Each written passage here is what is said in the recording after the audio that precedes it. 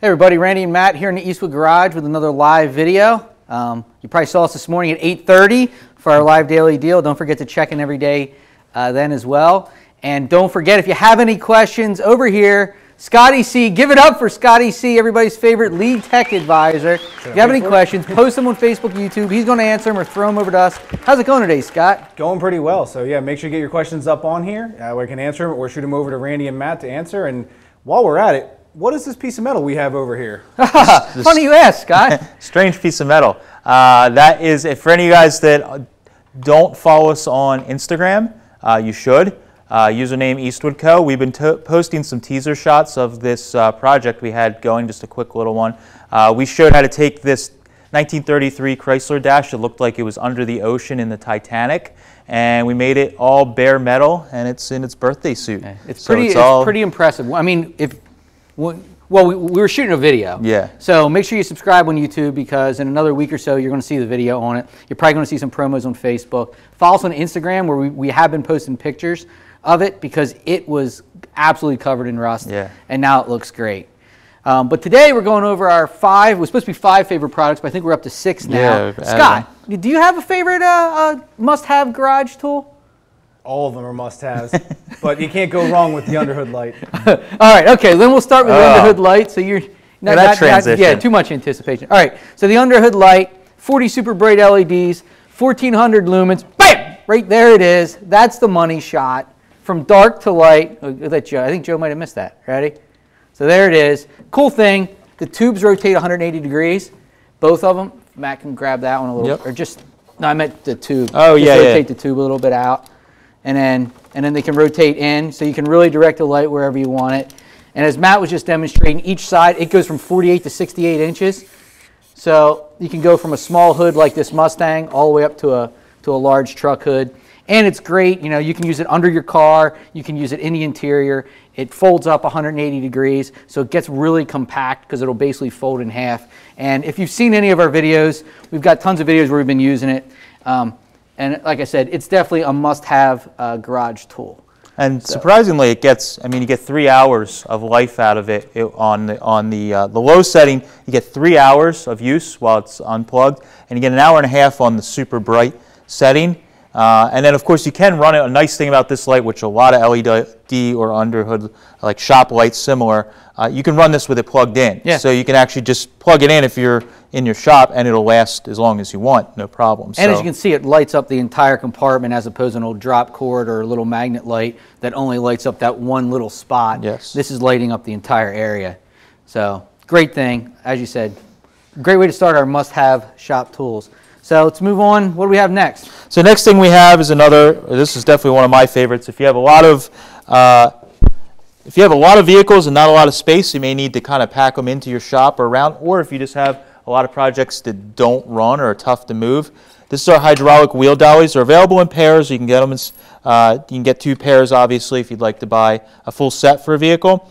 Um, these are nice. It'll go up to a 22-inch uh, wheel uh, and it goes up to 12 inches wide here. And, and each one will hold 1,300 pounds? Yes. yes. And the cool thing is, like you're doing right now, you're jacking it up. So you don't need a jack, where a lot of other wheel dollies, you have to roll a jack under the car, jack up the front of it, put your dollies under, pull the jack out, go around to the back. Where this, it actually jacks yeah. itself. And this is nice. You can just quickly, I mean, I like this because I can move a car where I need to move it, pull them out real quick, and then we're all set, and you can use it on another vehicle. So you don't need to like the, the set where you have to jack them up, it's a pain in the butt because... And we've got a bunch of videos. You see these in use all the time in our videos. And a lot of people ask, you know, how do they do on blacktop? Well, we've got the video of the Corvair where we've got the Corvair on wheel dollies and we push it the whole way around uh, from the back of the garage all the way around to the front of the garage. So what is that, like 150 yards on blacktop? And yeah. it, it, rolled, it rolled it around. Yeah, it's no problem. So when you want to release this to let it out, you of course pull the safety uh, lockout, and then right here is the valve. Quickly drops it out. You can pull it open by hand, and you can roll it out. And of course, if you uh, check out the product page, we have a little uh, rack for this. So you can stow them away on the rack if you don't have anything to use them on right in the corner. It's easy to use. Uh, these are worth their weight in gold. It's, it's so much easier to move a vehicle around. It's, uh, it's definitely a nice investment. And while we're on the Mustang, Uh, you know, people, the- Mustang's in storage. It's on wheel Yeah. dollies. Doesn't get driven a lot. Yeah. So we have our battery maintainer. This one is really nice. Um, again, if you have a lot of vehicles that are in storage, or maybe uh, like if you're in this part of the world where we actually get a winter and you don't drive your classic cars or your collector car in the winter, this is something you definitely need to have. You need to keep it plugged in over the winter and maintaining the battery. Uh, now, the nice thing about this is I, I just use one of these for this reason. This one actually charges as well as maintains. So uh, I had one of my cars where I just left the little light on, the battery was low, and it Mm-hmm. just wouldn't quite start. Plugged this in for a few hours, car started right up, and then I just left it on overnight. So it has a light that blinks when it's charging. So it's going to let you know, and then it has an additional light that lets you know when it's in storage. So when it goes under 12.8 volts, it goes back to a charging mode. So it kind of bounces back and forth. It has a self-sensing microprocessor inside that allows you to do that, which is really nice.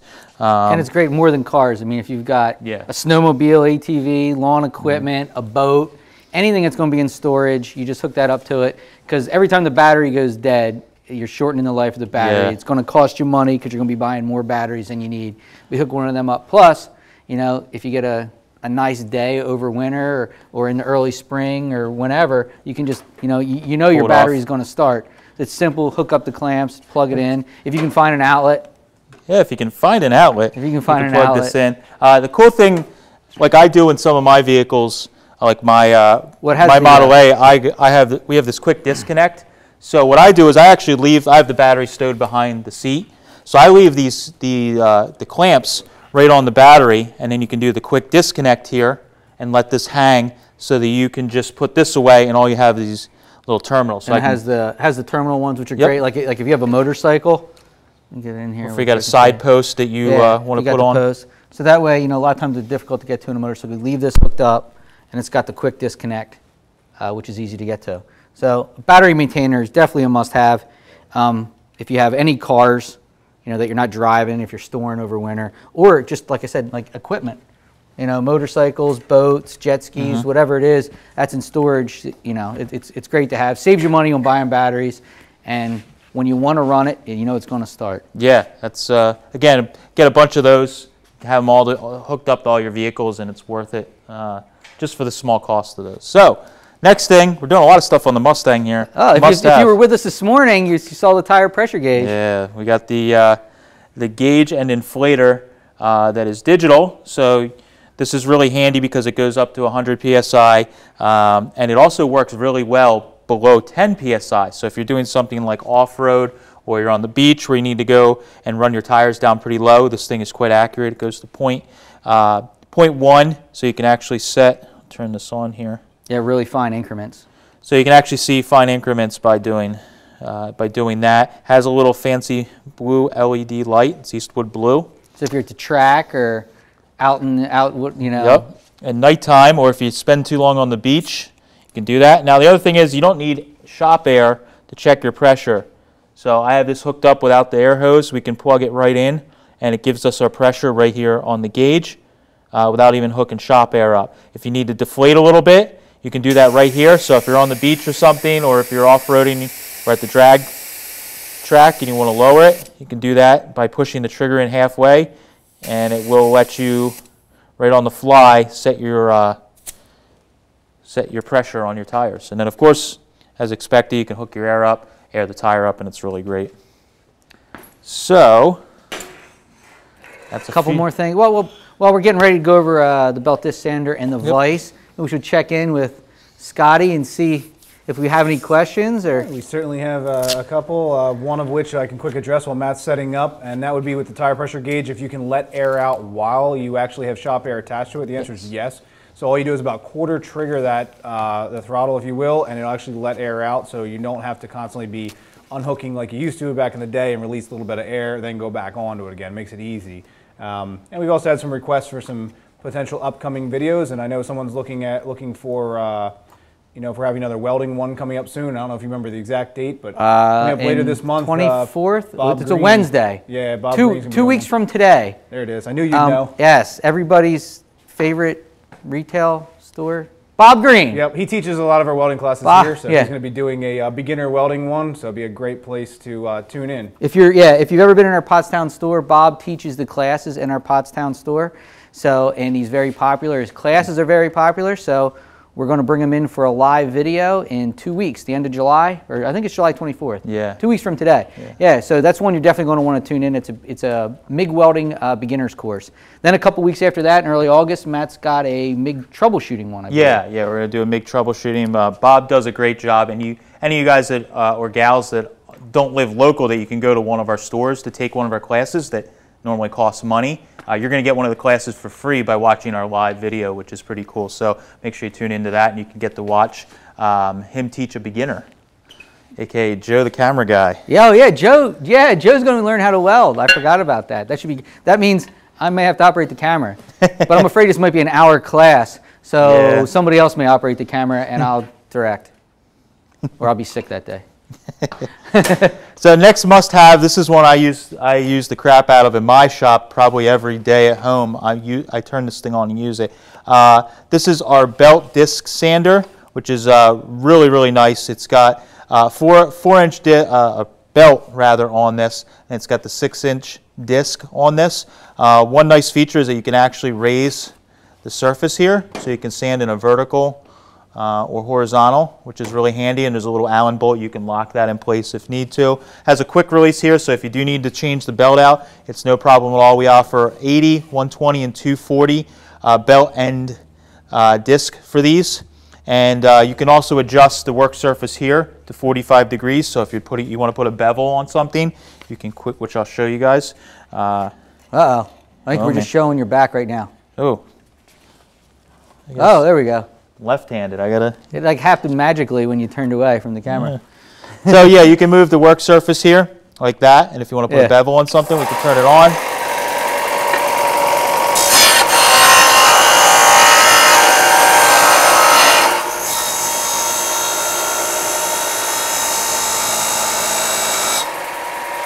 Now, is there a reason you were working off the left side of that sanding disc?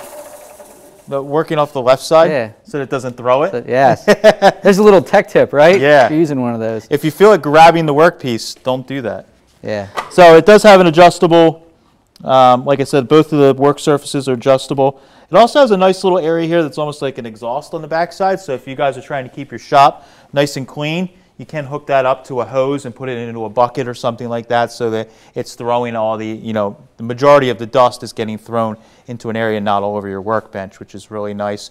Uh, again, we have all the different um, grits for this so you can swap out. So if you want to do something that's uh, not, not as aggressive, you can put a 240 on. I also use this a lot to sharpen my tungsten. So I pick a strip of the belt on the top, and that's an area that I sharpen my tungsten with. It, it's it's nice, quick way to do that. You could fire it up and, and do it, and uh, I have good results with that. So that's that's a good one that you can grab. It's inexpensive, and you bolt it right to the bench, and you're ready to go.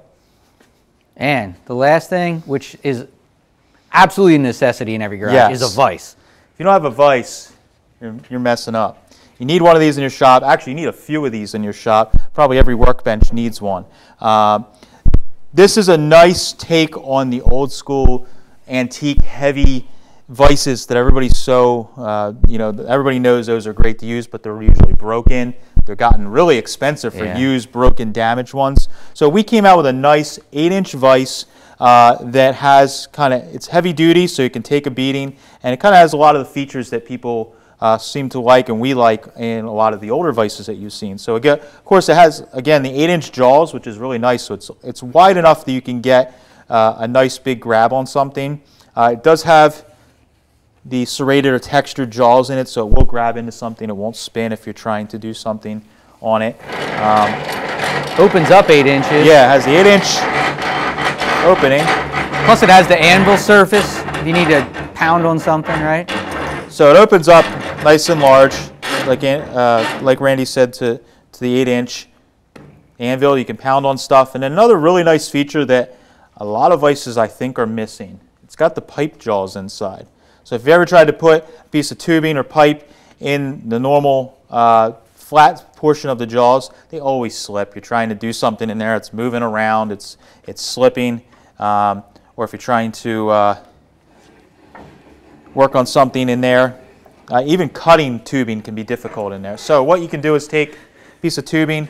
It has on both sides has the rounded jaws, and we're going to go down. So what it does is it grabs right underneath the flat jaws.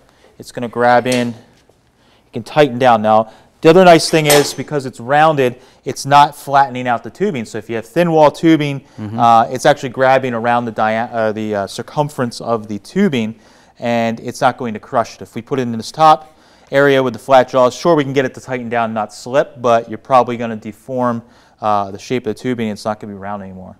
So this is a really nice feature that we have on ours that um, a lot of vices don't have nowadays. And of course, it's got the locks here, so you can swivel this, so you can loosen up the locks. So if you need And to it's got two of them, so you can really tighten it down. Yeah. You see a lot of lesser vice, they'll have one. and don't hit them with a hammer, because that's what bends them, Bends them up. bends them real quick. Um, as long as you're tightening them both evenly, it's got real nice engagement. So you just keep loosening them. There we go. So we can loosen, get it in the angle that we want. Tighten each of them down. They'll find their kind of find their spot. Got that one tightened. Tighten the other side, and we're good to go. So then you can um, use this to do whatever you need to do. And not only is the vise great for just clamping metal down, a lot of our tools are made Yeah. because a lot of our tools are made for the home shop that's small, you don't have a lot of room. So they're made to be stored away, so you don't always have to bolt them down to your workbench. Yeah. So our shrinker stretcher right there, I mean, just stuff we have underneath there. Bead you know, roller, some yeah. specialty dollies, bead roller, you know, uh, our brake. A lot of stuff's designed to go in, go into the uh, the vise, so that way, you know, you can use it. It's held securely. Then when you're done with it, you can just put it underneath your workbench and it stores nice. So Yeah. vise is also great for all that too. Yeah, you need you need a couple of these good Couple of vices. them. So, and that of course, uh, we have our satisfaction guarantee with our warranty, of course. So, guys, definitely give it a try, um, and we back everything that we sell. So, if you you have any concerns about it, you give Scott a call, yell at him. He'll tell you uh, how to troubleshoot it. Or Yeah. they'll help you out and make sure that you are satisfied, whatever it takes, right, Scott? Yep. Yeah. Yeah. we always make sure we want to make sure you're happy with the product and you know using it for you know to make your life a lot easier.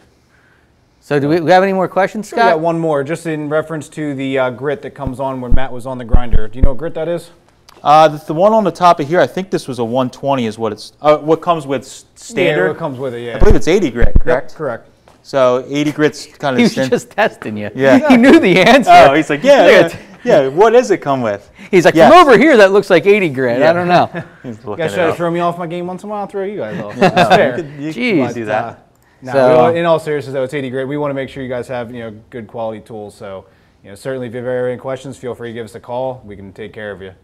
So, all right. Cool. Well, is that it? That's the must-haves. Okay, that's uh, our garage must-haves. And uh, thanks for joining us again every Monday, Tuesday, Wednesday at 3 o'clock Eastern Time.